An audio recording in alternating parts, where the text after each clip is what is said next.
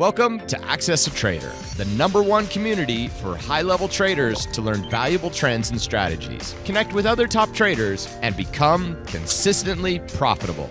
All right, guys. Good morning, everybody. Uh, good morning, guys. Uh, welcome to uh, our first installment, okay, our first installment of uh, the AccessATrader.com uh, weekend uh, breakfast show where there's actually no breakfast. There actually is no show. Uh, unfortunately, you are here again with me uh, because uh, five days a week, seven hours a day is not enough for hearing me speak or uh, rant about the market or talk about the market and all that good stuff. So thank you very much for those of you guys who came out. Thank you very much. Uh, for all you guys who are at home sleeping, I probably don't fault you. All right, guys. So let's uh, let's get into uh, the market really, really quickly. Uh, again, we're going to break this down in several installments. We're going to go through what happened yesterday in the day. Uh, then our first installment is going to be showing everybody how to, at least how I uh, structure my actionable trading list. There's no such thing as a watch list anymore. trading list for the next day in the last uh, 20, 30 minutes, uh, like 20 minutes or so, we will get as many questions uh, as answered as possible. And then I promise to you, you you're allowed to leave and you're allowed to go uh, about your uh, day. So uh, let's kind of uh, get started. Uh, again, markets, again, just kind of summarize it. Uh, again, don't think for a second. And, and again, I, I, don't I don't talk about fantasy world, okay? you guys know this. I, I, don't talk about fantasy world. Uh, there is no fluffing. There is no ego stroking. I, I talk about reality. Okay. Um, don't think for a second. Okay, that the, this bull run is uh, is anything that you are controlling. Okay.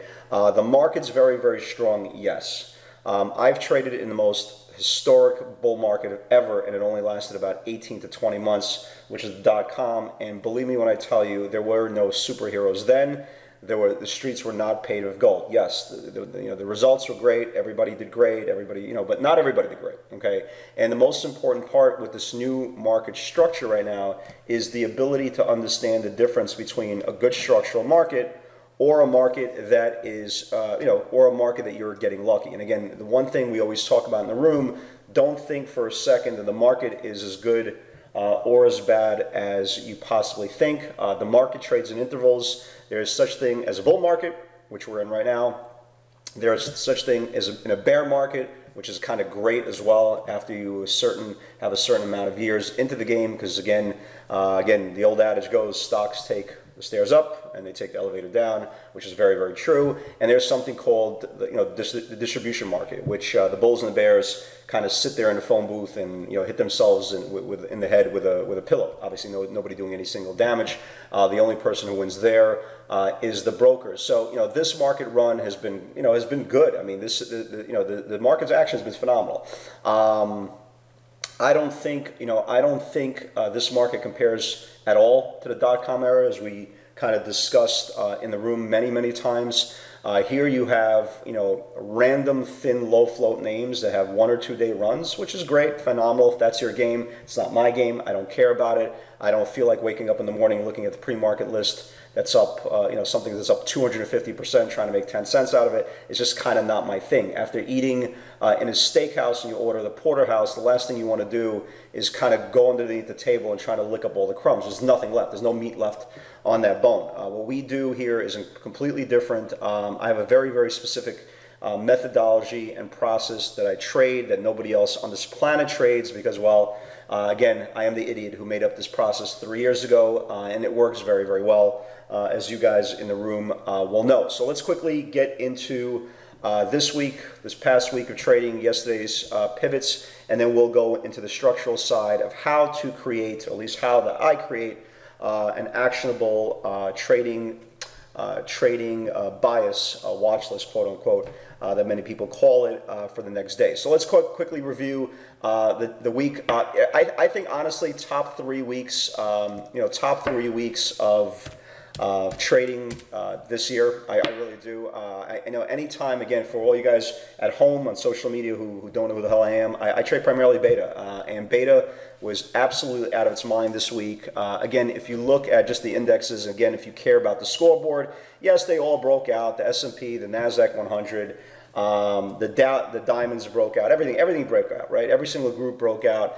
Uh, but the bottom line is again, I don't care what the market does. It's again, as we say all the time, how much value uh, can I get in the market? And usually, if the market goes up 200 points, okay, cool. If the market goes down 200 points, okay, cool. But again, how much value is there for me? How much structure is there for me? And how much risk do I have to put on the table with risk on?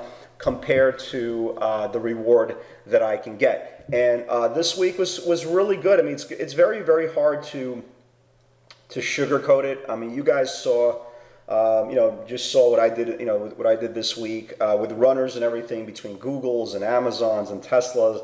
I mean, I didn't look at my sheets, but you know, we're talking about north of. It has to be north of 15, 16 points. Um, just on Friday, um, just on Friday, I caught a you know four, another four dollar runner on Google. So it was really good. It was a really really good week. But again, there's nothing structurally that I did different uh, that I trade in the distribution market that I would trade in a bull market or a bear market. It just the the range is expanded, and that's the whole name of the game. The range is expanded. They built properly for you know 95 percent uh, of the week. Um, and the trades that I believe uh, didn't build right away, I, th- I thought I, I, traded them well. I used break-even trades where they didn't go. Um, you know, so I, you know, I think we did a great job this week. You know, I got a lot of great uh, feedback. You know, Charlie, right? Charlie, I think Charlie said his his biggest week uh, of the year. Uh, right? I mean, biggest week of the year. I mean, this. So, I mean, listen, it, it, I've got a lot of that, man. I really got a lot of that. Um, I can't even see your responses. Yeah, there you are. Right, Charlie? Yeah, so I mean, I, I got a lot of responses to that. I know a lot of people, especially uh, who traded you know, on the option side or traded for the bigger moves, um, you know, did very, very well. So let's kind of quickly go through uh, yesterday's day and then we'll get to the meat and potatoes of of what we did, uh, of you know what I look for uh, in the market structure for our next uh, trading day. So uh, for all you guys at home, we uh, our email is broken down into uh, several parts. One is the nightly video, two is the option flow report, um, and number three is the webinar, the live webinar recording. The live webinar recording is all six and a half, seven hours of the day. Which starts with morning strategy. And in morning strategy, the first 20 minutes, we highlight uh, all the potential pivots. We, we highlight all the potential moves uh, that the market could give us with uh, defined risk. Again, uh, you know, I don't trade. Uh, I trade primarily 90, 95% of beta names, so everything else I just don't care about. It's just not my thing. Uh, beta is great because I could get instant gratification. it's depending on liquidity if I could get full size uh, and the moves are fair, you know, pretty fast and pretty uh, aggressive. So Friday, if you notice, if you uh, after you guys watch this, uh, scroll down to the webinar recording, and you will see the first 20 minutes of morning strategy. And we highlighted morning strategy. Uh, we, we, you know, we didn't get creative. You know, we didn't get creative the previous night. Uh, we talked about you know, NVIDIA, Google, Tesla, Amazon, Netflix, right? I mean, we, we basically covered the beta names. Usually I don't. Usually I put other names uh, on the trading, you know, trading platform for from the night's uh, due diligence. But you know, you, sometimes you don't want to get creative. Uh, you want to look at the alpha that is potentially right in front of you. Uh, and if those are the strongest stocks, why look for some stock that you have never heard of? You don't know the market structure of that name. You don't know the organic order flow. You don't know how much size you can take in that name. You don't have any familiarity with that stock, so why trade it, right? Why trade it? I know if Google builds, it's going to go. I know if NVIDIA builds, it's going to go. I know if Tesla builds, is going to go. So why get creative, right? Keep it simple, stupid, right? Kiss. Keep it simple, stupid. And that, and I, since I am the king of the idiots and there's no bigger stupidity for me, I try to keep things uh, very, very uh, simple. So let's start out, you know, let's start out, quickly review of yesterday's session. It was Friday, and there's, again, there's a, there's a whole myth, right? There's a whole myth on Fridays, uh, and a lot of people say the same thing. Like for me, by the time Friday rolls around, you guys kind of see this Thursday afternoon. I'm exhausted. Again, what you see me doing now, you know, I speak for seven hours a day, five days a week, and I speak to all you guys uh, after the close, and then I structure the, you know, this, uh, the, the trading uh, uh, sentiment for the next day and plus I you know I wear a bunch of other hats throughout the day. So it's it's um, you know it, it's a lot on me. So by the time Thursday rolls around, I'm exhausted. So for me, Fridays are almost like I wouldn't call it a vacation day, but I'm not trying to recreate the wheel on Friday. And I believe it was it was uh, either um, I think it was Talget who said I either Talget or Ralph. Somebody said that they believed that Friday was probably the one day uh, that many traders have uh, the least amount of success. And, and again, I, my, my answer to that was, actually, my response to that was, uh, you know, maybe in the old structure, okay, maybe in the old structure uh, years ago, but again, nothing is new. I mean, nothing's the same anymore. I mean, nothing is the same anymore. Uh, it, it's a completely different market. It's all, it's all process specific. It's all market specific. It's all stock specific. So I think it's one of those scenarios that you can kind of put to bed you know, old, old school rest that, you know, Mondays are better than Fridays, Fridays are better than Tuesdays. It's all about individual uh, setups and an individual market interval. So um, I think that's that. But, you know, to my, you know, to my, uh, to my point, I, I do get tired on Fridays. So my activity for Friday's session is a little bit less because I'm just so tired. Uh, but again, if you listen to Morning Strategy, we, we highlighted exactly what I thought was going to happen, and it kind of played out perfectly. So we talked about, and this is kind of how we uh, started the day. So here is the 60 minute view, right? So here is the 60 minute view of the market. Uh, let's get rid of all this. Let's get rid of that first candle. So we knew the previous day Amazon was strong, Google was strong, uh, Tesla was going to be strong, uh, Netflix was going to be strong. So in the video, all these stocks. So we wanted to make sure if there was any going to be value and there's going to be a lot of aggressive uh, market, especially option players. And again, I'm not an options guy, but I'm not stupid. I understand a lot of the flow uh, will make these stocks move. A lot of the sweeps will, will get these stocks going. So we knew Friday was going to be traditionally an area where more aggressive speculation in the options market was going to take place with sweeps and probably, you know, in Facebook and, you know, in Amazon and Google. And it was a monster bet uh, earlier the week, uh, $9 million bet on the 970 calls on Amazon, which really uh, set that thing on fire. But uh, we kind of knew that all the speculation money, especially in the uptrending market, was going to occur on a Friday. So a dip buy after a breakout and all the indexes made sense. So here's a 60 minute view on Amazon. Okay, here's a 60 minute view. Uh, we knew this was going to be support right here. We knew this was going to be support right here. Uh, actually, excuse me, right here. Sorry about that. Uh, I knew this was going to be support right around here. I was bidding for the stock, and this is this is the one trade that if I caught, and I'm, I'm embarrassed to say I didn't, I was bidding for the stock 974 and a half okay 974 and a half at the bottom of this channel again you could go through uh, the, the morning video from Friday. You'll see this after you're done watching this.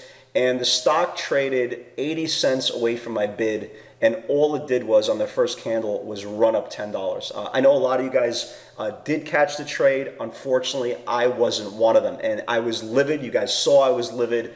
Um, you know again for me if I you know if I lose money on a trade I'm okay. If I miss an opportunity that I know I should have had, uh, it really sits with me. So it really took a turn for me mentally. I was like, all right, this is Friday. I'm not going to do a lot. I really missed this. You know, it is what it is. Uh, congratulations for all you guys who did catch Netflix. This was awesome. I mean, this was a really, really big uh, aggressive trade. Again, the same thing. This is the rising support. Okay. Again, if you believe in the theory that stocks trade from support to support, well, here's it is support to support. And Netflix, we talked about uh, 182 to 182.30 bounce potential and that boy, that bad boy bounced. I mean, this thing really, really bounced. Very, very aggressive move. Again, there's so much speculation with Netflix. We kind of knew about that. Friday, everybody is jumping on because they believe this is the week that they're finally going to get taken over. Uh, again, I personally think, and you guys kind of know this, that uh, you know, I, I, think Netflix is going to get taken out within the next uh, two, two and a half years. Again, there's too much value there for an Apple, uh, Google, Amazon,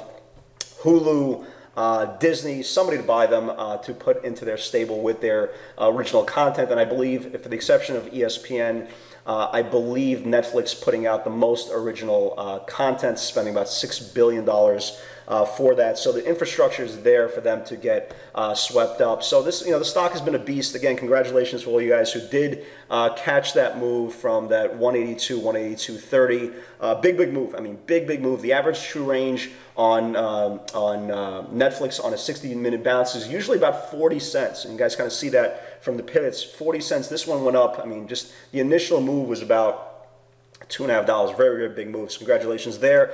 Uh, Google, uh, Google. I mean, we'll talk about Google in a second. On my second entry, the first entry again, same thing. It bounced right off support. You know, perfectly right off support. Uh, I know Ken caught it for like two, three dollars. I know Charlie caught. Right, Charlie? I think you caught um, Google like three times on Friday.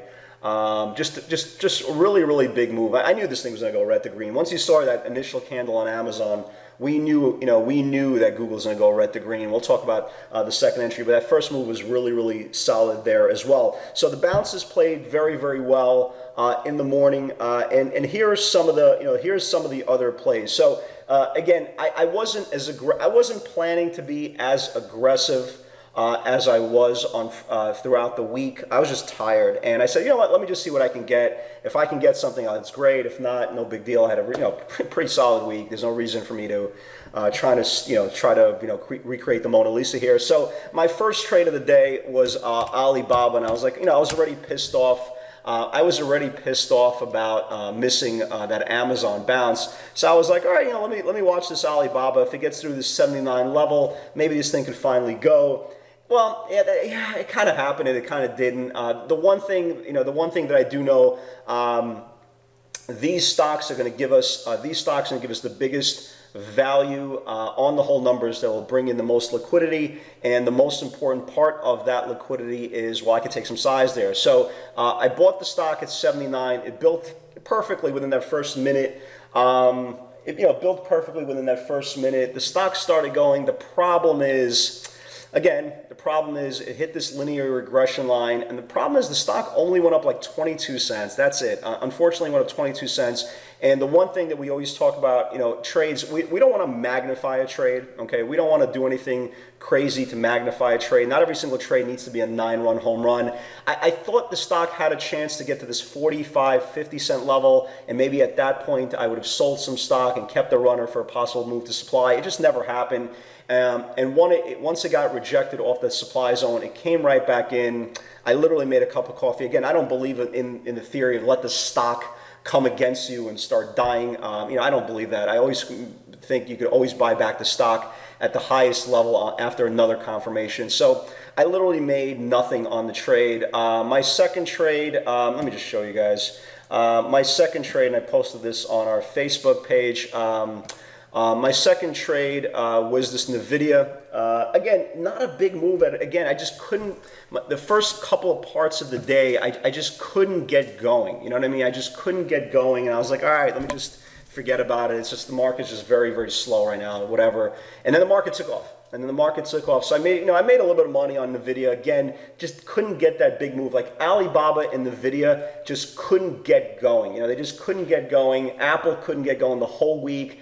Um, so it was all about like Amazon and Google. So Amazon woke up, put up that big candle, and you know, and then I started looking at Google, and we kind of knew Google was going to go. Um, you know, we kind of knew Google was going to go, and the reason why we knew Google was going to go is well, Amazon exploded. So here was the channel. You know, here was the channel that we were looking at right over here, this uh, 98.50 level, and we kept on saying it's going to build. It's going to build once it starts building. And when you're trading like a Google and when you're trading like an Amazon, you know, stocks that have wider spreads, okay, stocks that have wider spreads, obviously bigger point potential, but have wider spreads, they're harder to judge when they're building, okay, off that pivot. So it's more important to get into the trade on a volume surge based on based on live bidders, aggressive bidders over that pivot, than taking the you know taking the offer on the quote unquote trigger and then you know and hoping to God that they build afterwards. So um, I bought Google, and at the same time, if you guys remember, at the same time. Amazon started getting, it was right here, Amazon started getting very, very aggressive, right? Started getting very, very aggressive and put up a $3 candle. So I even said it, I go, it's just a matter of time. It's a matter of time. So Google got above that uh, 88, uh, 88.50 level, right? It got above that 88.50 level. So I was just watching it. I was just watching it. I was like, oh my God, I just, I, like the spread is wide. It was, the spread was like 88.30 by 88.70. You guys remember that? It was like 88.30 by 88.70. And I was like, oh God, I just need some, you know, I, I need some buyers to come in. Finally, a buyer came in. Uh, finally, a buyer came in, not big size. I think he came in like, 600 to 700 shares. I know this doesn't sound like a lot, but for Google, you know, to see a 500, 600 share bid, it's kind of like seeing 2000 on Tesla. So he came in at seven, he came in at 53, 54 cents, and he stood there for like 30, 40 seconds, which wasn't a lot. So I took some stock. I think it was, I took some stock around 73 cents, uh, something like that. Uh, where was it? Where was it? Where was it? Um, I took some stock. Yeah, my initial. So I took some stock at 83 cents, but I wanted to see a little bit more confirmation. Um, yeah, so I took some stock at 83, uh, 73 cents. I wanted to see some more confirmation. And then there was an 1100 offer there. You guys remember there was an 1100 offer at, at 88 cents? So I was just watching it, watching it. Once they started building, uh, once they started building over that 88 cent level and they, they went like 60, 65 cent bid, I said, it's, you know, it's pretty much now and never. So I added it through that uh, 88 cents and the stock exploded. I mean, the stock really, really exploded. Uh, and that was kind of my, you know, that was kind of my, you know, that my, my nut for the day. Um, I, I kind of, I knew it was going to get, I, had, I knew it had a shot, shot to get to like 94, 95. Uh, so my last sale was at 993. I call it like a four and change runner on that trade. I was pretty pleased about it. Uh, considering I didn't think uh, I didn't think I was going to do a lot more uh, throughout the day. I was just so so tired. So I made some money on NVIDIA. I had a good trade on Google. Very good, very very good week uh, in general. Uh, but the trade that I missed, and a lot of you guys caught. I know Vinny caught this trade. I think it was from what was the guys? What was the the options? What was the options on the on Tesla? Charlie, what was the options on Tesla? The the not the 35750 the 35750 calls, right? The 35750 calls, I believe. 35750 calls. So here is the pivot on Tesla. And we joke around, you know, we joke around this uh, in the room. Uh, 375, was it 37550? Right, 375.50, right? So it was right, right, 375.50, right?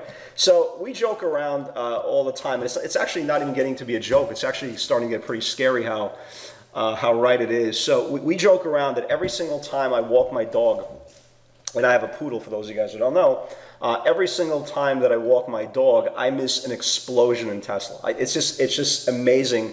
Uh, it really is amazing. Uh, as much as I've, I've caught Tesla, I caught Tesla pretty weak, uh, pretty good this week. Uh, but as much as I hit Tesla, there's a lot of trades when I walk my dog because my you know how, dogs are, they're pretty regular. So you can't really you know you can't really um, um, you know, put them to the side. You're gonna piss and crap all over your house. So um, I took my dog out for a walk, and we said, hey guys, watch the 355, right? Watch the 355 pivot right here. Here's the th 354 90 area.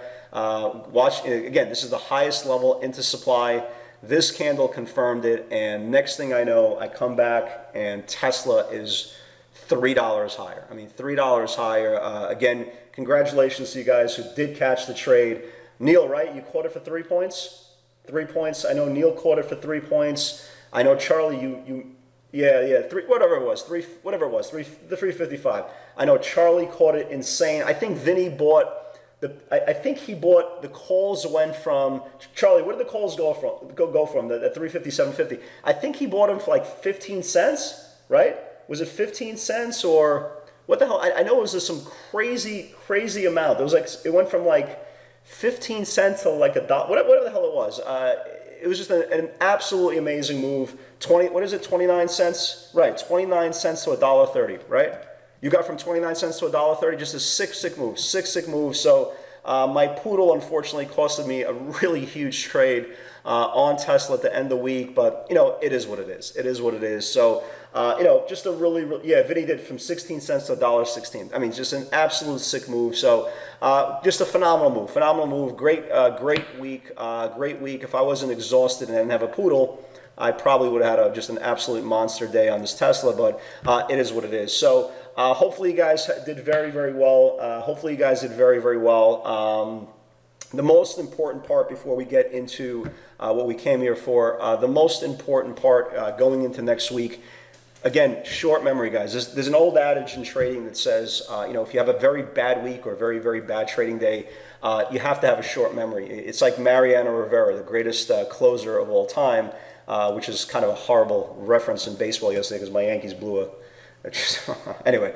uh, anyway, so moral of the story is, uh, yeah, you got to have a short memory. Uh, not only, you know, not only when you're uh, losing money, you have to have a short memory when you're making money because uh, the market will humble you very, very quickly. And you know, I've been saying this for years and years and years. I don't believe in the whole theory, social media theory that people sit there and have fun. I've never had fun. I, I had an incredible week. there's nothing about trading that's fun.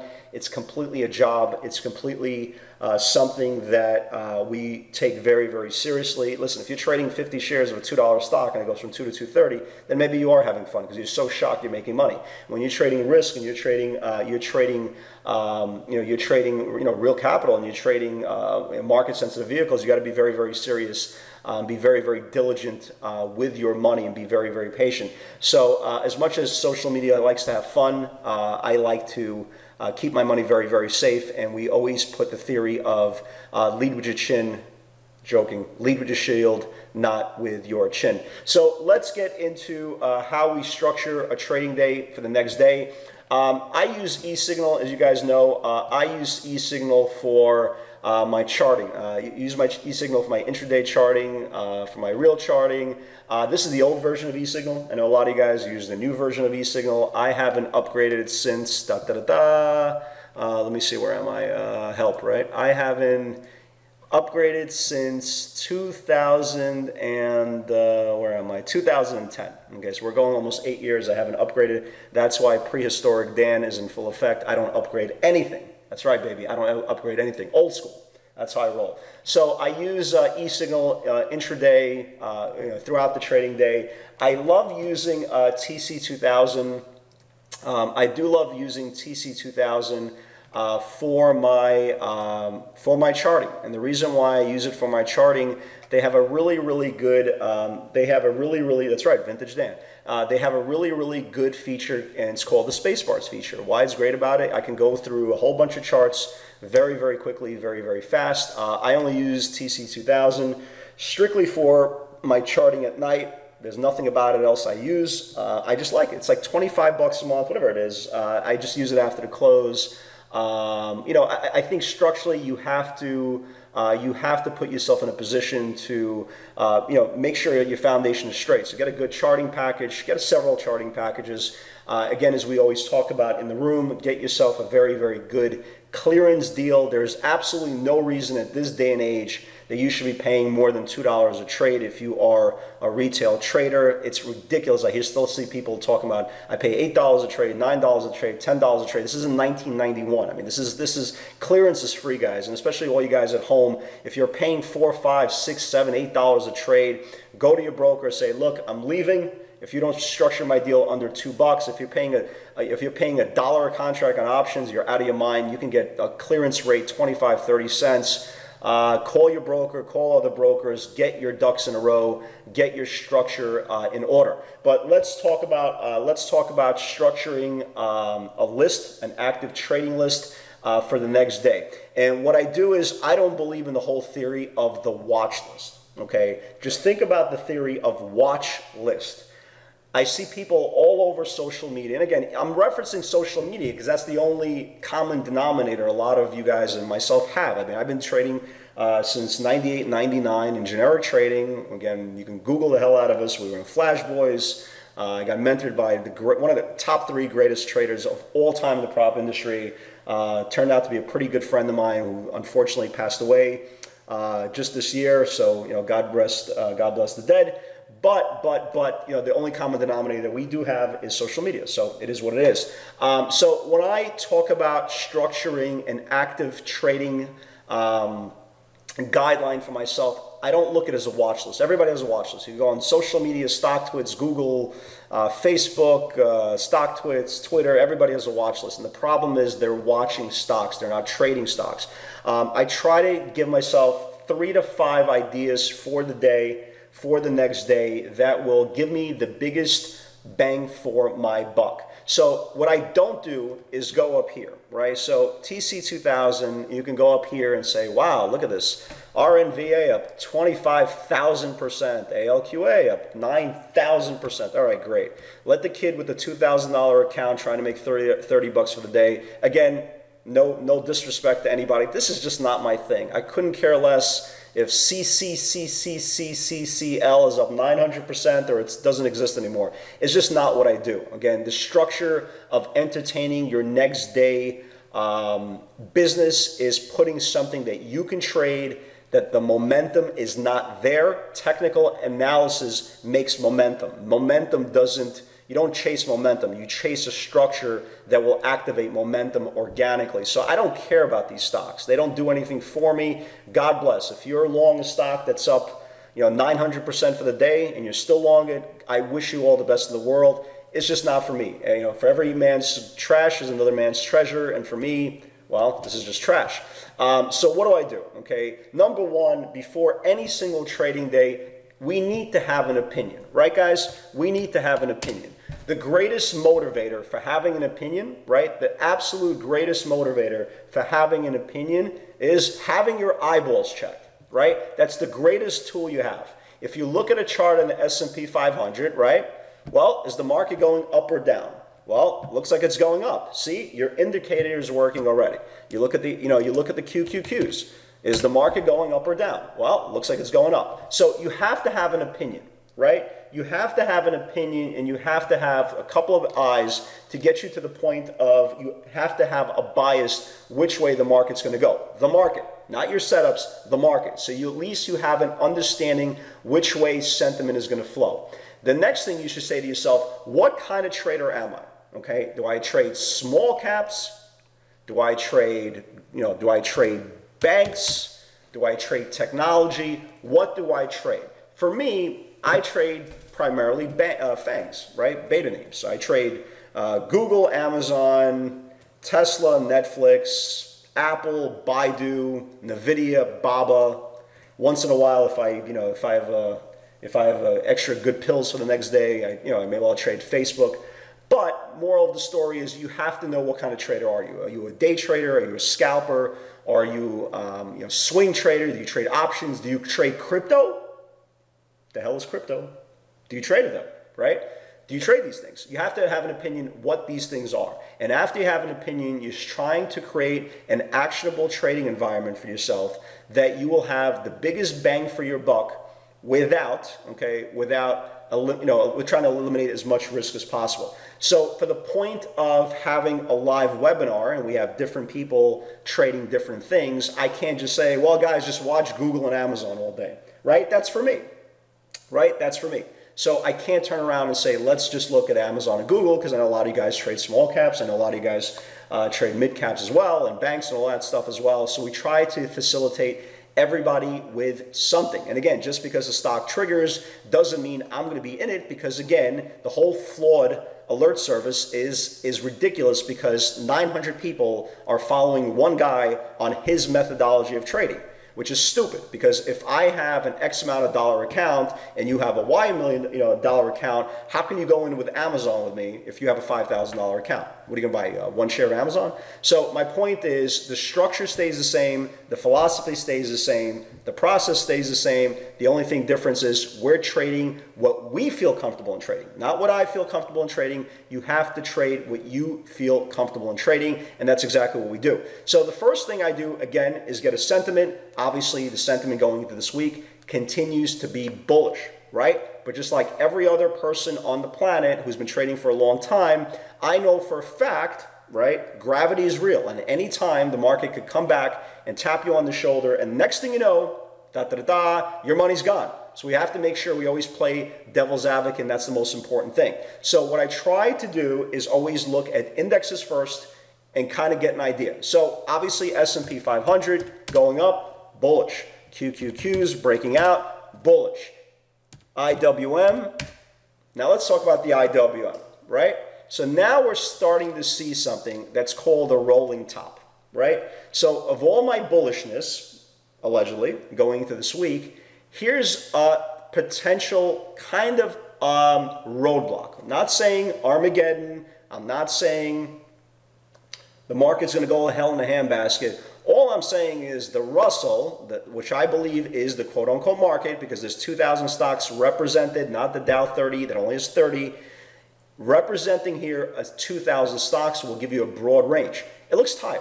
Okay, it looks tired. Okay, not that again it's going to come back to the you know 135 area. It looks very very tired. And the one thing I'm able to identify is a rolling top. What's a rolling top? Well, when the market starts stops going up, and the last group is usually the small caps, they start stop going up. So the moral of the story is you can see this kind of rolling top taking place, right, guys? You can see this rolling top. So I say to myself, okay, I'm bullish on the market, at least I'm bullish on sentiment, but, right guys, but, this is when we start getting an opinion, but something could be in our way for a potential back test. And I look at the IWM, for, for example, and I say to myself, well, here is something we should watch for next week. Everybody see this, guys? Here is something we should watch for next week for a potential pause, right? For a potential pause in the market. So I'll take a look at the index and I say, okay, the IWM, the last low here was 149.30. Another low here is 149.39. The low on Friday was 149.57. So I say to myself, and now I'll put this on my watch list, right? I'll put this on my watch list, quote unquote watch list, right? The actual trading list. Now I will set an alert for the next trading day and watch IWM. So if it starts building, right? If it starts building below 149.33, well, they're going to pull the plug. Okay, they're going to pull a plug. Again, I'm not saying they're going to pull the plug all the way down to 145, but they're going to at least pull the plug for an actionable back test to this 148.30 level. So the first thing I do, okay, I have an opinion, I have a bias, and here's my first actionable scenario for the next trading day. And I know I'll set an alert, and this is what you guys should be doing live right now. Set an alert for next day for that 149.30 breakdown for a possible measured move to the 10 day support of 148.30. So it's a potential dollar move, uh, potential dollar move in the trade. So we're definitely keep an eye on that. And then I go through the NASDAQ 100, right? And then I go through the NASDAQ 100 and say, where is my value on the NASDAQ 100, right? Where's my value? And the greatest thing about TC2000, you can go through these things very, very quickly. So here's a chart on AMAT. First chart, right?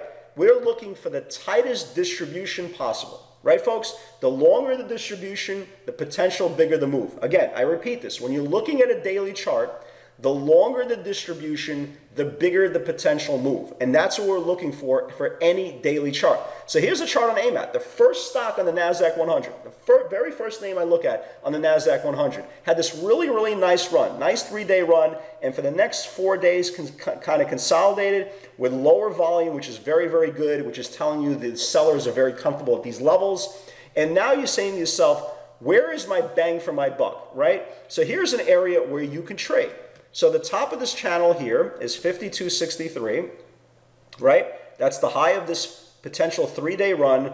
The stock closed at 5240. You're buying it above 5263. So you are risking, because the stock closed at 5240, you are risking 23 cents for a potential continuation run for the week. Right, guys? We're looking for value, the biggest bang for our buck obviously risking 23 cents or 25 cents on a $50 stock, that's value because if this thing goes, it's going to go. Look at the potential here. Your potential, your future is right here. Look at the three-day run Amazon had. So here you are risking 25 cents roughly with slippage for a possible continuation run. That is value. So the first, for the second thing we put on our watch list is AMAT. AMAT by uh, 42, uh, 42, uh, excuse me, 52, uh, 63 with a stop of 52.40, right? Very, very easy. You go on to the next one, and, and this is what you do.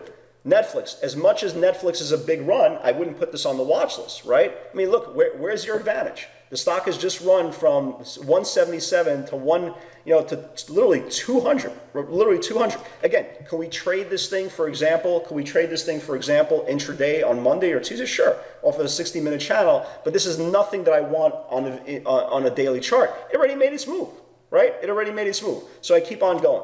VRTX, nothing. AAL, now again, for all you guys, and again, airlines are really not my thing, right? Airlines are really not my thing, but this is a beautiful chart right? This is a beautiful chart. Again, you're looking for a big initial move, distribution, and confirmation the next day. So here's a chart on American Airlines, had this really, really big move, almost 6% move, consolidated, put in a high of 51.67. The stock closed 51.30. Again, am I going to put this on the watch list for me? Yeah, probably not. But look at this chart, guys. For those who do trade airlines, and again, this is why we say to get comfortable in what you do, you're buying this thing above 51.67. Your stop is 51.30. You're risking 37 cents for a potential next big move. Again, that's value. You keep on going. TMUS, nothing. Regen, okay, Regen could go. Here's supply. Uh, has a you know has a high here 477. But again, this is the difference between having quote unquote a watch list or having a tradable alert, a tradable uh, actionable day for the next day, actionable list for the next day. Again, yeah, I understand that the, the trigger here is 477, but the stock closed at 470. You're telling me I'm going to buy the stock up up seven? Why? Why am I going to buy the stock up at seven? So if the stock closed at 475, 476, that's one thing. You know, you're saying to yourself, okay, I'm going to risk a dollar. But why would you buy the stock the next day up seven? Right? Up seven for a potential another, you know, dollar, dollar and a half, two dollar move. Where's your, you know, where's your safety net? So again, good chart, but again, that's the watch list chart. That's not a trading actionable list chart. So you keep on going. NTES coming to supply, nothing. LRCX basing nothing. SWKS, okay, it looks okay, right? It looks okay. Came out of supply, first close out of supply, you know, put in a high of 5507, 10507. Okay, there's some value there. There's some value there. First close, first close over supply. Again, you're trying to get yourself the biggest bang for your money. So if you want to get long this thing and it looks good for you, you say to yourself, okay, Friday's high is 105.07. It closed at 104.96. I'm roughly risking a dime. So if it fails Friday's highs, what am I risking? A dime, 20 cents with, with slippage. So if this is value and this is trade, if this is a stock you want to trade, then this is a good risk reward trade. You should put this on your watch list. You keep on going down. Starbucks, nothing. NC, nothing. Baidu, you know, nothing really yet. Mylan, you know, consolidating, but again, you know, it's, it's not really a great trading vehicle. As you can see, it gapped up and put an inverted hammer, which basically tells you it's not a great trading vehicle. Intuit, nothing. Google, big, big run. You know, big, big run. Well, obviously, nothing there on the daily chart. We're going to be looking for 60 minute channels to uh, move. Amazon, again, getting close to the top of supply. So nothing daily. And you keep on going through these lists, right? You keep on going through these lists. There's only 100 of these things, right? There's only 100 stocks right? There are only 100 of them, guys. It shouldn't take you, it shouldn't take you any more if you're doing this, you know, very, you know, if you're doing this on your own, it shouldn't it shouldn't take you any more than five minutes. Again, being a parent, and a lot of you guys will appreciate this, we don't have a lot of time. You know, we have to get a very, very good process very quickly and, and make sure it's it's smart for the next trading session. So here's a trade, you know, here's a trade we put in early in the week. Uh, you know, if you guys remember, here's a trade we put earlier in the week. Uh, Cintas, right? Like here's a perfect scenario. Cintas we put earlier in the week. It closed at 44, uh, 44.67. And we said buy this thing at 45, yada, yada, yada. The stock's at 49. So you're looking for value. But right now, there's nothing in the trade. And you keep on going. Ross Stores, Xilinx, nothing there. Symantec, nothing there. Checkpoint, nothing there. And you keep on going, right? You keep on going. You keep on going until you see something incredibly tight right? Like Priceline, again, beautiful move from Friday's, uh, from Thursday's watch list. Uh, 1895 break, look at the stock, 1922. Again, that's value. Why was this thing on our watch list, right, guys? Why was this on the watch list? First close over supply. And the next day, when it closed, when it confirmed supply, well, it started a, a, a, kind of a unicorn effect. So, so you're looking for any stocks that are closing over supply. So Tesla, right, the most hated stock on the planet. Look, we obviously know, look, we obviously know the stock is strong. We know the stock is strong. And when the stock got weak, we were shorting this thing on the short side. So we have no bias. I don't care. Again, again, if you look at social media, the stock's either going to 5,000 on Monday or it's going to 50 bucks.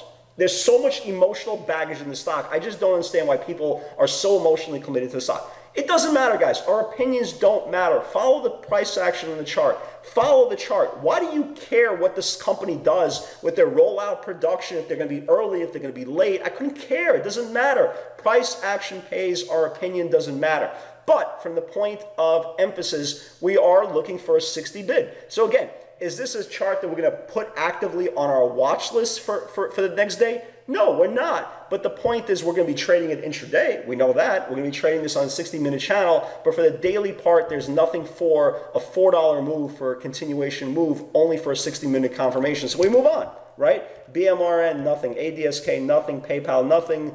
WDC, nothing. So here, so we get to NVIDIA right? We get to NVIDIA, right? Again, the whole point of a structural balance to give yourself a chance with the biggest bang for your buck is giving a longer distribution, the bigger the move. So here's NVIDIA. One, two, three, four, five days this is a full week. The top of the channel here is 190, uh, 181.98, right? Excuse me, 191.88. Okay, so 82. So we know this thing needs to take out 82. We know this. Okay, so this will be on the watch list. Why? Because your risk here is 70 cents. You're buying it through 182 with a potential move to the top of the channel here, especially if you're swinging it to almost 189, right? Excuse me, actually above 189 with a risk of 70 cents, right? So you're talking about risking 70 cents for a potential $7 move. For you option players, you should be salivating on something like this, right? You should be absolutely salivating for something like this. So you, you have a great risk reward, you have a great range, and oh, by the way, it's a very, very emotionally charged beta name. So we have all the elements for potential move. So we put that on our watch list. So now we have three really good value plays for Monday. We got NVIDIA, we got AMAT, and we got the IWM for a potential backtest if it gets tired. So you move on. You have three. You want to get yourself six or seven, right? So you go Microchip, nothing, LBTY, nothing, Qualcomm, nothing, JD, nothing, ATVI, nothing, Intel, magnificent run. Again, what are you going to do with the nosebleed section? The stock broke out at $36. The stock's at 40. What are you going to do with Intel? Okay, what are you going to do with Intel there? And you keep on going, guys, until you see structural balance. Now look, BIIB looks good right? BIIB looks really, really good. So the top of this channel here, guys, the top of this channel is 331. Okay, top of this channel here is 331. If it confirms 331, this thing is going. Again, for all you option players, get your ducks in a row. But this looks great for next week. So we want to put it on our actionable trading environment. So 331 break on BIIB. Again, we're looking for value, guys. We continue, right? Maxim nothing, Fox nothing, MDLZ, Microsoft. Microsoft looks good, but it's more of an investment vehicle than a trading vehicle. CSX, Fast, ADI, LBTY, Monster, nothing, CERN, nothing. Apple just can't get out of its way yet. Mattel, ADP, KHC, blah, blah, blah, blah, blah, blah, blah, blah, blah, blah, blah, blah, blah. Okay, so we're done, right? So we're done with the NASDAQ 100. So then what I like to do is look at the IWM, right? I like to look at the IWM and I say to myself, okay, we know now, we have an opinion on IWM. We know the daily potential pivot is 49.33. Do I really want to get aggressive with these stocks? I mean, when I say I, I mean generally, right? I'm not, again, I'm not trading any $2 stocks right now. Uh, at least I don't want to. I've had some success with these things. I'm still holding a third of my position of that CLDX. But my point is, do I really want to put a lot of emphasis when I know the market structure is highlighting beta? For me, no, but for you guys, again, because everybody trades differently, trades different vehicles, you want to get yourself a sense. So again, you click on this little toolbar on, on TC2000. I, again, I think this is a great uh, uh, I think this is a really great uh, uh, charting package. you could go through these charts very, very quickly, and you go down the list and you're looking for exactly the same thing. Where is the value? Right? Where is the value, guys? Where is the value on, you know, where is the value on these smaller cap names, right? And you're trying to go through the whole list as fast as you can. And the most important part, not only you trying to go as fast as you can, your, your eyeball tests are giving you, uh, you already know what you're looking for. You're looking for the longest distribution with the absolute tightest risk. So you keep on going. So look, I come across the stock Dova. I don't know what this Dova is. I've never heard of Dova, but I look, I say, well, okay, look, there's a 7 million share float. There's a long distribution, right? There's a long distribution. Again, is this something that I'm going to trade? You know, probably not, right? Probably not, but I know a lot of people will. So this looks really, really good. So I look at the top of the channel and I say, okay, the top of this channel here is 28 and a quarter. Uh, yeah, 28 and a quarter here. It stopped at 27.85. So for all you guys who are trading these little, you know, smaller cap names, you know, biotech names. Keep an eye on this. Again, is this something for me? Probably not. But again, I'll put it on the watch list because look how long the distribution is. The distribution is almost two months. So if this thing gets above this 28, you know, 28 and a quarter area, right? If this thing gets above the 28 and a quarter area, this thing can go, right? This thing can go. So you want to keep an eye on that as well. And you keep on going through the list, right? You keep on going through the list until you get five or six really, really solid ideas. Really, really solid ideas that are not overextended, that nobody's looking at, that nobody's in. Because again, remember, at the end of the day, if, if, if, if the theory is 90% of all the traders are losing money, why would you want to be in the same trade with them? And the reason why a lot of these non-correlated non-correlated non-beta names work because nobody is in these things. You guys remember this ARLZ, right? You guys remember this ARLZ? This is something we put on the watch list, okay, at $2. Nobody on social media talked about this for five days. By the time they talked about this, this thing went from two to, to three. And the reason why two for three, it was organic order flow, right? Organic order flow. It wasn't some guy on social media go, this is the next one to go, man. Yeah, this one the next one to go for three cents. But the reason why I went from two to three is or, or, or, organic order flow. So you want to make sure you're in the stocks that nobody is in, and that's why you're giving yourself the biggest bang for your buck. So you continue right? You continue and you say to yourself, where is my next value, right? Where's my next value? Again, majority of the stocks are not tradable, okay? Majority of the stocks are not tradable. They're never going to be tradable. But again, if you're an uneducated trader and nobody's ever told you that, how are you possibly going to understand that, right? How are you possibly going, going to understand the majority of the names are not tradable? So what I like to do, I have this kind of filter set up. I used to use it. And when I can't find a lot of value, I'll go to this little um, little filter that one of our uh, members made me about uh, uh, 2012. Wow, so this is six years ago, uh, nearly six years ago. And these are stocks that are trying to confirm the channels.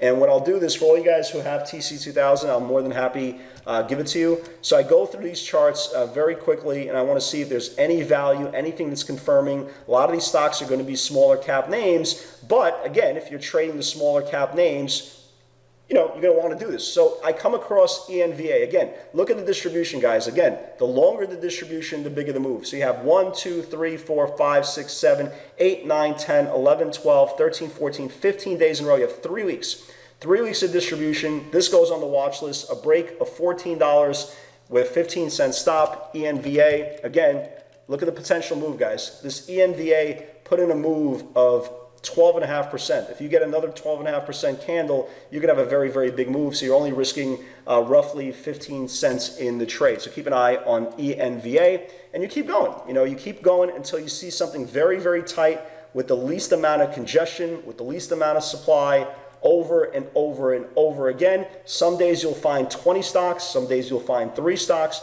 But again, you want to get yourself an opportunity that you are risking the least amount of money. Okay, the least amount of money with to get the biggest bang for your buck, the biggest liquidity for your buck, and you keep on rinsing and repeating. So you keep on going through the list until you find the next one. So far, nothing really seems really that great. As you can see, this is why uh, I believe the IWM could take a rest, especially if it cracks that 149 uh, 30s level. You could see by how these stocks are reacting. They're not coming, they're failing to come out of these ranges. So you keep on going, you keep on going, you keep on going until you finally get something that you feel very, very comfortable. And so far, I don't see that, but you can see how you know they're starting to get worse and worse. These charts, right? They're starting to get worse and worse. Uh, EMKR, test, you know, you go very, very quickly. A lot of these things are just well underneath supply and they have no areas of interest uh, to trade these things whatsoever. And that's what it looks like right now. Okay, so that's what it looks like right now. And then you just go, your last thing you do, you can see here, not a lot of value. Not a lot of value whatsoever. As we're getting even closer to the bottom of this list, you can see very, very limit, limited value there. And again, you don't force it. You go through, you know, you go through all your charts. Uh, you start looking quick, quick run of the S&P 500, very, very quick. Again, I'm not, I don't trade majority of the stocks in the S&P 500, but you'll go on some, you know, you go on a quick move on the S&P 500 as well to see if there's any good value. AMAT we already put on our chart. Um, BXP, AAL, UAL, Regen, we talked about that. Uh, you do just do a quick run. You just do a quick run. A lot of these stocks are very, very overextended. Um, so you don't force things. You definitely, definitely don't force things. And that's about it. So that, that's the value that I'm seeing so far. Uh, that's the value so far I'm seeing uh, in our watch list. So we got six value plays on our watch list, and everything else we're going to be trading off uh, the 60 minute channel. So kind of what you want to do is, and again, I, I, I would advise everybody to do so. Get TC2000. It's like 20 bucks a month, man. It's like 20, 25 bucks a month.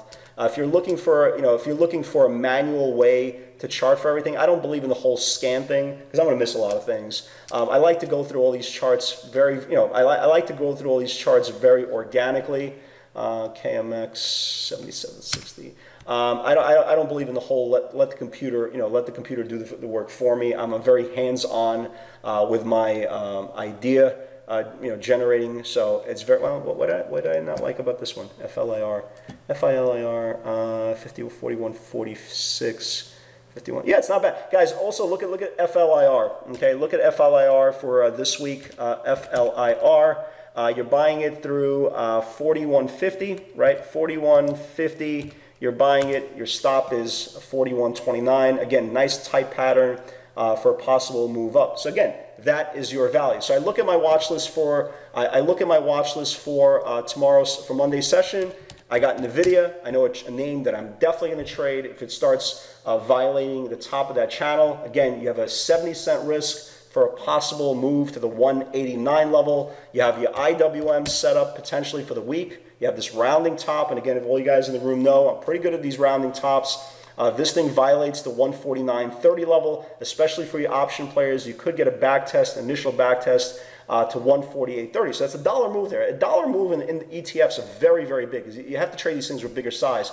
So I like this chart right here. Uh, AMAT looks really, really good as well. Uh, keep an eye on AMAT, guys. Again, you have a three-day monster run consolidation. If this thing gets above the 52-63 area. You possibly have a move to the upper Bollinger Band, so good potential there uh, as well. Uh, BIIB, again, flagging. This thing looks ready to go. 331 break for your option players. I think it's a better option play than an equity play.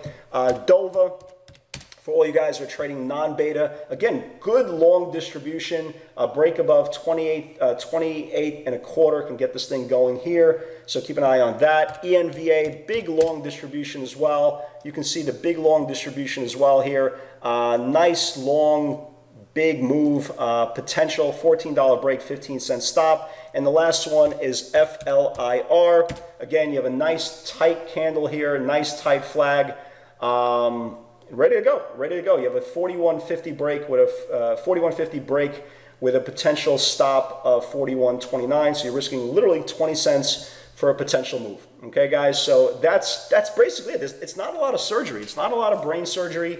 Uh, you're trying to save as much time as you possibly can. Okay, and you're trying to get the biggest value, biggest bang for your buck that you're actually going to trade the next day, not that you're going to watch. So the theory of the watch list compared to the active trading uh, scenario for the next day is night and day. Okay, guys, so we'll open it up for about for questions for about 15 minutes, 15, 20 minutes, and then I'll let you guys uh, go on to your uh, weekend. Start it up, guys. Who's first? Okay, so the first question comes from Charlie, and he asks, could you be, maybe get a little more specific on characteristics you're looking for in charts? Well, the number one thing we know, based on the PS60 theory, we know that stocks trade from supply to supply, correct? Uh, we, we know stocks trade from supply to supply. We know that, right, Charlie? We know that. There's, there's, there's no, there, there, so we're trying to put on, if we're trading off the daily chart, we're trying to put on a chart that has the biggest, for example, potential going to the next supply zone, right, to the next supply zone with the limited amount of risk. So for example, like for example, you trade a lot of beta. Right? That's all you trade. You trade beta. So you know, we all know that the next supply zone on NVIDIA is this right here. Right, Charlie? We know the next supply on NVIDIA is right over here. Correct? We know the next, the next thing is right over here. So we know the distance between the entry and the upper Bollinger Band is $7, right? $7. So based on the theory of characteristics, we're looking for something that has the biggest move potential, right? The absolute biggest move potential. Again, if you believe in the theory that stocks go from supply to supply and demand to demand, so the next supply zone is nearly seven, eight dollars higher, and your risk is 30 and your risk is 70 cents. So you're risking 70 cents for a seven dollar potential move. That's value. So the biggest characteristic that we're using is the biggest distance between entry to supply if we're going long and entry to demand if we're going short and obviously having the, the biggest defined risk. So that's the, that's the biggest thing. So FLIR is different. You know, FLIR is different. I, you know, look, I, I don't know what this FLIR is, right? So, for example, that's why I say for myself, I can't tell you how high the stock can get. You'd have to kind of play around with it, go on the weekly chart, you know, go on the yearly chart to see where the next potential move can be. I try to keep it very, very unsophisticated. Okay, as you guys know, I try to keep things very, very unsophisticated for myself. So for me, I wouldn't trade this. I like the chart.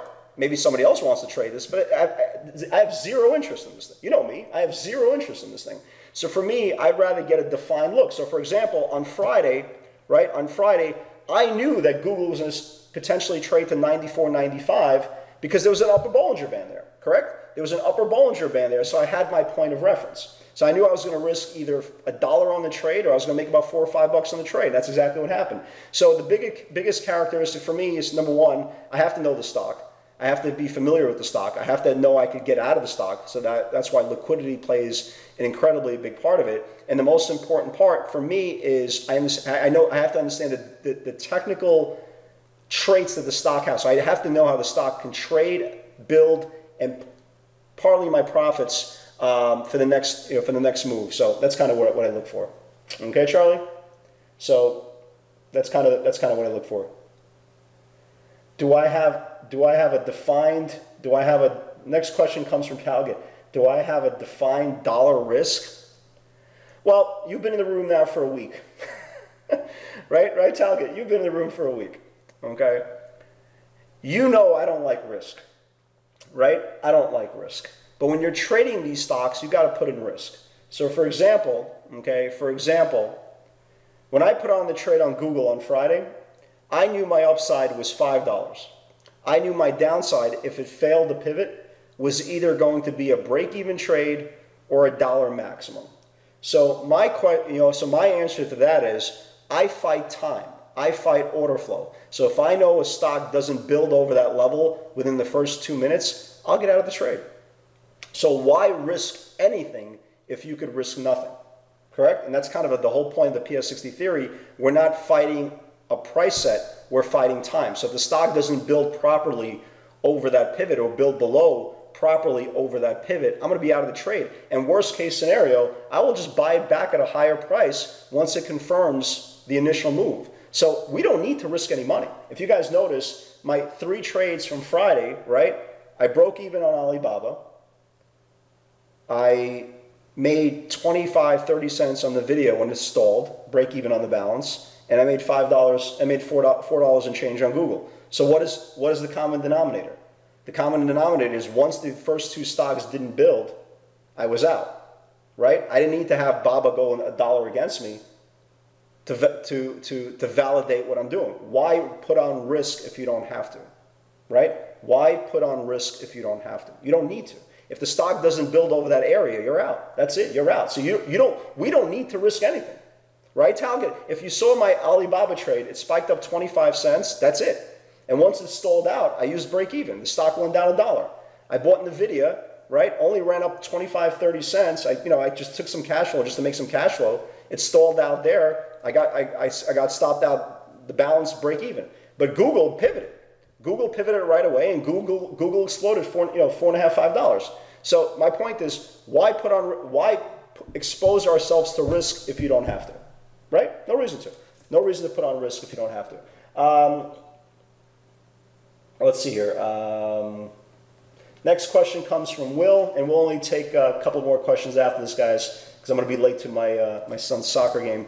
Um, please explain to us, spring chicken traders, the physical process of walking us through a whole number trade to hit the bid uh, versus a pivot. No, no. Yeah, so here's the deal. Here's the deal. So the greatest, the, the biggest the biggest value, okay, the biggest value for me is always at whole numbers, right? If you guys noticed, if you guys noticed, liquidity is always at the greatest points, okay? Liquidity is always at the greatest points through whole numbers, okay? Through whole numbers. That's the bottom line. You'll have you, retail there, you have institutions there, you have everybody there because again, the whole number for whatever reason mentally uh, is the stop and go. Okay, so if I'm looking at a trade and the pivot is, say, for example, 848, 86, I will wait till that whole number because I, I want to see them build off that 86. I, I, know the biggest bang for my buck will come off that whole number. Okay, it will come off that whole number. Um, and if it doesn't go through that whole number, if it doesn't, if, if they if they reclaim, if the sellers reclaim the pivot, you got to be out of the trade. So if it starts building right away, you know the stock's going to go. Okay, right. The biggest liquidity is always going to be at the whole number. So I will be more aggressive taking size and liquidity on the whole number than I will uh, in a trade that's in the middle in the middle of its if, if it's of its number. Um, and I know if a stock builds right away off the whole number, it's going to go. I mean, look what happened to Tesla yesterday. Excuse me, forget about Tesla. Look what happened with Google yesterday. Once Google started building, right? Once Google started building, on a whole number? Think about that. Once Google started building on a whole number yesterday, look what happened. Stock went up four and a half dollars straight up, right? I was even joking around. I go, I'm, I'm, I'm making sales on this thing every dollar, you know, every dollar up in, in matter of seconds. So it's very, very important on a whole number. Okay, it's very, very, very important on a whole number. But we also know if a stock stalls on that whole number, okay, if the stock stalls on that whole number, you got to get out of the trade. At least I got to get out of the trade. there's no reason for me to lose a dollar, two dollars on Tesla. There's no reason to. I could just break even or lose, you know, 20, 30 cents and go on my, you know, go on my day, then you know, catch a, you know, catch a bullet. So that that's kind of the importance of it. Yeah, just just to answer uh, Talget's question. Um, yeah, the Bollinger Band will always be the area will always be the area where a stock uh, emotionally. Oops, excuse me. Uh, that's the area where you're going to have the biggest emotional buyers and technical sellers. So if you see, for example, here, look where Amazon stopped, right? Look what Amazon stopped. That's supply. Look what Google stopped. That's supply. Look what you know. You can look at net, where where Netflix stopped. That's supply. It's not, you know, it's not a, it's not an accident. They stop at supply. So yeah, absolutely. We're going to take one last question from Brendan, and then I really got to get to my uh, son's soccer game. It actually starts in 10 minutes, so I got, I actually got to get out of here. Uh, regarding reentry, if I entered a whole number break and the stock goes to 1020 and retrace it to, yes, the, the entry would be, yes, the entry would be uh, over that first initial move of $100.20. And if it fails that, you can use you can use like a 20 cent risk again if they uh, reclaim the whole number. Uh, again, the, the beautiful part, guys, about having our live webinar, all these questions are answered five, you know, five days a week, seven hours a day. Okay, guys. So anything, anything that we didn't cover today, we'll definitely cover through the week. All right, guys. Awesome week this week, guys. Great job. Hopefully, we'll get the continuation action next week. Okay. Uh, have a great, great weekend. Uh, this video will be out at some point. Uh, yeah, I'll leave it up. I'll leave it up. The, you know, it will definitely be, uh, the, you guys will get the video within the next probably couple of hours. Uh, I'm going to send this over to uh, Kenyon and Kyler, and they'll edit it, all that good stuff, and it'll go out. All right, guys, have a great weekend, everybody, and uh, stay safe. I'll see you guys on Monday. Take care, guys.